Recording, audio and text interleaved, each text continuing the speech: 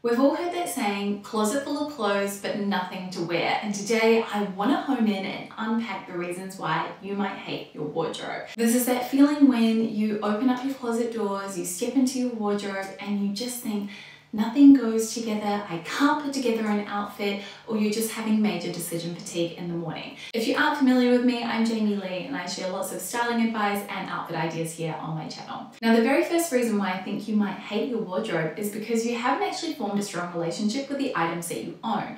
You're continually seeking out something new to fix the problem, so you're ending up with all these great new items in your wardrobe, but you haven't worn them lots, so you don't really know how to pair them with everything else that you have in your closet. A great analogy would be the difference between an acquaintance and a friend. Someone who's an acquaintance, you maybe just are talking at surface level, lots of small talk. Whereas a friend is someone that you're going to get a little bit deeper with. You're going to have a lot of great conversation because you know each other really well. You know the ins and outs of that person. Think of your wardrobe in the exact same way. The more that you wear an item, the more you pair it with things that you already have, the more you're going to understand how you like to wear it, how you like to pair it, and the ways that it looks really chic and kind of feels like your most unique self in terms of expressing your visual voice. And at the beginning, it's going to feel a little bit awkward, a little bit uncomfortable, and I feel like that's what a lot of friendships kind of are. You're sort of feeling each other out and the same thing you should do with your wardrobe. If you need a kickstart, a great idea is to set aside a couple of hours on a quiet weekend and just try out the items that you're not really sure about with some of your favorite pieces in your closet. And if it is that you've just got a few newer pieces in your wardrobe that you don't know how to wear, my biggest tip is to style it back with your wardrobe workhorses so that it just injects this little bit of freshness into your regular style uniform. The next reason why you might hate your wardrobe is because there is no variation. So you've honed in on a style uniform and you've really stuck to it, almost in that cartoonish sense. So you have found a really great cut of trousers and you've bought them in every single color. So you've got lots of options when you look in your wardrobe, but every single time you put those pants on and you pair it with the tops you would normally wear it with, you feel the same. You're not injecting a different mood or feeling into your outfits and sometimes that's what we're craving. So my recommendation here is when you are looking to kind of build out your wardrobe, you want to have not only variation in the silhouette, but also in the tactile nature of the garments as well. So you want to be looking at things that have different textures too, because that is going to add that tactile component to your outfit. It is going to add that visual interest, but it's also going to help keep things feeling fresh and different. I like the most about having that variation of silhouette is that you really unlock your wardrobe's potential and you are able to tap into different moods depending on the day, the time of year, and it's just a great way to also have a little bit more fun with your style. The next reason why you might hate your wardrobe is because your wardrobe is a reflection of your fantasy self. Now, if you haven't heard of the concept of fantasy self, I'd actually plan to do a whole video around it and just time, children, all got in the way. But essentially it is this aspirational self and it could just be as simple as you live in the city but you really like that coastal lifestyle. And so you're really drawn to these lovely washed linens and cottons and super floaty style dresses worn with chunky sandals and sneakers.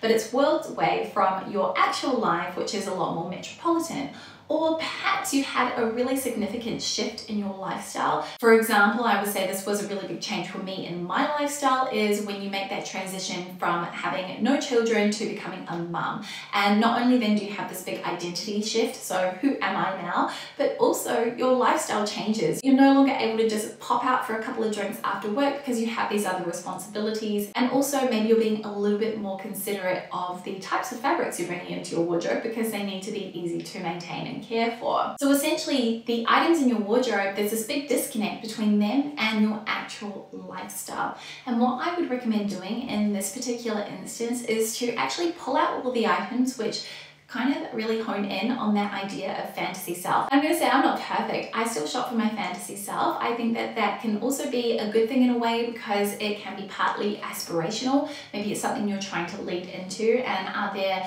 facets of your fantasy self that you can actually grab a hold of and inject into your personal style. But the ones that really aren't reflective of your current lifestyle, pull them out and pop them in another place in your house. Maybe you can put them in a storage tub or something like that, out of sight, out of mind. Because when you don't have them cluttering up the visuals of your wardrobe, it really does make it a lot easier to get dressed. And that's actually another point I'll come back to.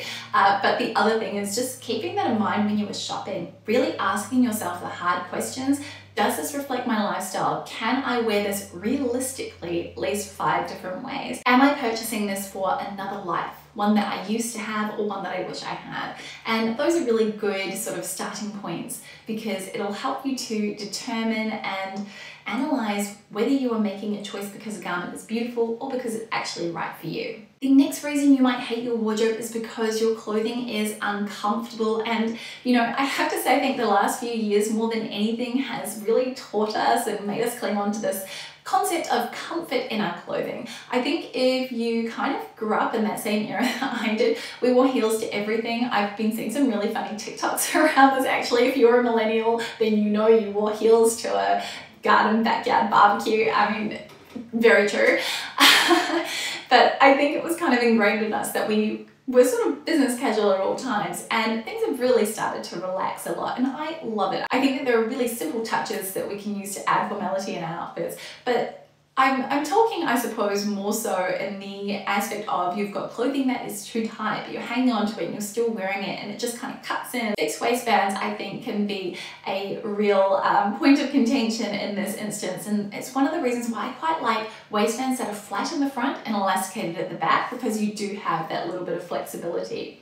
But also, it's kind of made me think, you know, we should lean into opting for those styles that are a little bit bigger around the waist. We can always use a belt to cinch them in, but not just things that fit too tightly, but also fabrics that feel uncomfortable against our skin, that are scratchy, things that make us feel all hot and flustered because they do not breathe. These are the types of garments that we're really not going to reach for. You're going to have a reason why you don't want to wear it, and it's probably because it just is uncomfortable to wear. Maybe you're constantly tugging at it all day and it just feels too fussy. I reckon those are the things that really get relegated to wardrobe purgatory. You know, they're just sitting there doing nothing for you and doing nothing for your wardrobe or your personal style. And again, they're ones that I would just remove, pop them in a storage box in another room, and then come back to them later. See if you've thought about them, or maybe you've eventually found a replacement, something that is comfortable, but definitely feeling comfortable in our clothing. It not only makes us feel better about what we're wearing, but it also affects the way that we are standing, the way we carry ourselves, and also the mood that we're in. Because uh, there's nothing worse than going out and then just feeling like things are a little bit off and it definitely reflects in the way that you sort of project your outward confidence and your visual voice. The final reason why you might hate your wardrobe and feel like you've got nothing to wear is because your wardrobe is a disorganized mess. Uh, this is something that I find with my personal styling clients. One of the most transformative things once we've done an actual audit of what's in the wardrobe is to organize it clearly so that things can be found almost like visual merchandising in a store. I mean, when you think about when you go shopping, it is always so pleasing on the eye and you can always find the things that you want to look for. Things are being strategically placed in a way that will make the experience feel really nice and soothing and calming and just exciting and thrilling as well when you're sort of looking for that special piece. And I suggest doing the same thing for your wardrobe. I personally have a method where I like to store all my items based on type and then by color. Makes it really easy to find what I'm looking for and if I am sort of building an outfit around the different colors that I'm wearing then it's sort of a no-brainer for me in terms of where I have to go in my wardrobe.